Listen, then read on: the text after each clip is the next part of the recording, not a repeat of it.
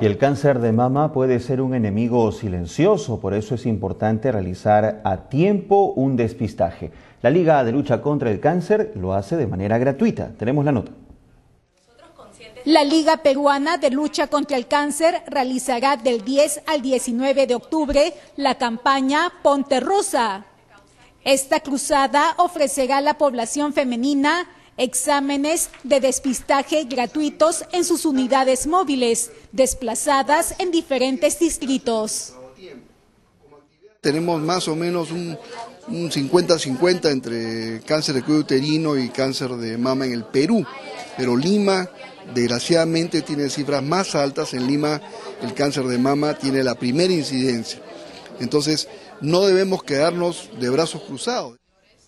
La jornada forma parte de las actividades con motivo de celebrar el Día Mundial de Prevención de Cáncer de Mama, a celebrarse el 19 de este mes. Artistas, deportistas y conductores de televisión portaron el lazo de color rosa en apoyo a esta noble causa. Empiece por casa, por la mamá, por la hermana, por la abuelita, por la prima, a decirles, no, vayan a hacer su chequeo. Es importante que aunque sea te hagas un chequeo al año y si es que tienes más de 40 años, que te hagas una mamografía anual también.